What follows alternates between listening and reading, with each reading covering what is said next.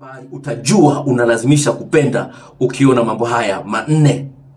Na sikiliza swali. Dokta naitwa sara umri miaka 29 nina mchumba. Mwanzoni tulikuwa tunawasiliana vizuri sana sana. Sasa hivi sms hajibu na akijibu ni mkato mkato. Nikitaka kwenda kwake anafunga safari ghafla.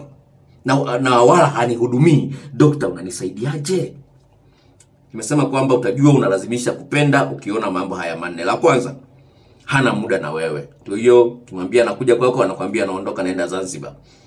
Na hata nauli kama hana atasema anaondoka. Hilo la kwanza. Hana muda na wewe mawasiliano madogo tambua. Unapomwambia kwamba na hii halisi ipende lakini anaendelea nayo tambua wewe ndio unayelazimisha mapenzi. La pili majibu mkato mkato au majibu yasiyoridhisha. Ukiona mpenzi wako anakupa majibu ambayo ni ya fupi fupi yani anaona kama vile anapoteza muda kwa muda kwa kujibu. Majibu ambayo yana sura mbovu. Sawa? Sawa? Hayo tambua kwamba wewe unalazimisha mapenzi. Kwa hiyo mweleze ukweli bwana majibu yako unayotoa au mwenendo wako mimi naona kama vile nalazimisha. Kwa hiyo kama naona nalazimisha basi naomba tu nikae pembeni nikuache uwe huru.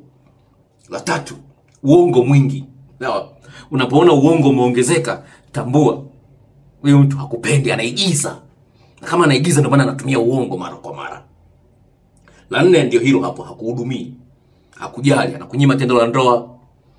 Ana hamna wewe akupe zawadi hamna akunulii nguo vitu kama hivyo matumizi vitu kama hivyo. Kwa hayo ni mambo ambayo unaweza kuyaona yanaweza kuchangia sana sana sana ku ndoa kuwa katika hali ngumu. Ah, hilo halitakuwa swali la mwisho ningependa nimalizie hili hapa. Ningependa nimalizie